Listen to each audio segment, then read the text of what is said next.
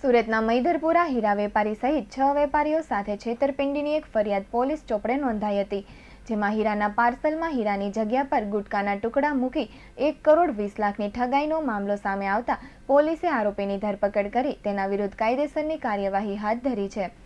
સુરતનો સૌથી મોટો ઉદ્યોગ એટલે કે હીરા ઉદ્યોગ અને આ ઉદ્યોગમાં સતત છેતરપિંડીની ફરિયાદો સામે આવતી હોય છે.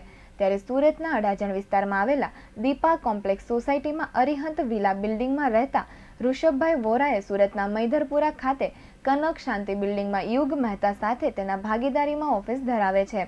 છેલ્લા ચારેક માસથી દૂરના સંબંધથી રાહિલ મહાજનની હીરા દલાલી તરીકે કામ કરતા હતા. તેની પાસે આવી ધંધાકીય સંબંધો સ્થાપ્યા હતા.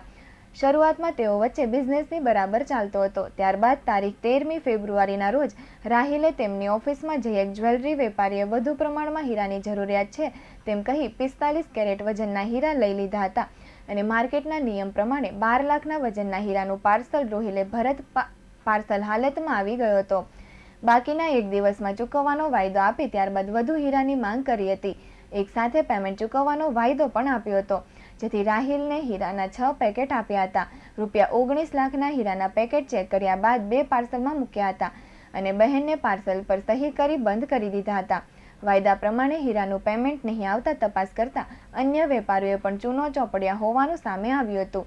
જેથી શંકા ઉપજતા તેમના પાર્ટનરે હીરાના સીલબંધ પાર્સલો લઈ અડાજણ પાથિયા ખાતેના ઘરે ગયા હતા અને ત્યાં જઈ તેના પરિવારની હાજરીમાં પેકેટ ખોલ્યા હતા. તેમાંથી હીરાની જગ્યાએ ગુટકાના ટુકડા નીકળ્યા હતા.